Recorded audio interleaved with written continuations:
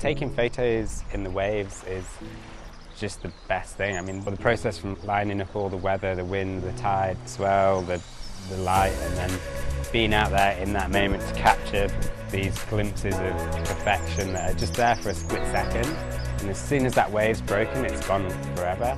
So to then have that moment captured in your camera and then bringing it back, being able to print it and to hang it in a gallery or in your house or, yeah, it's just the most amazing process.